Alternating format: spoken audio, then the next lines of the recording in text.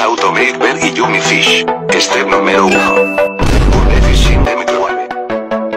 Step número 2. Cook 5 minutos. Step número 3.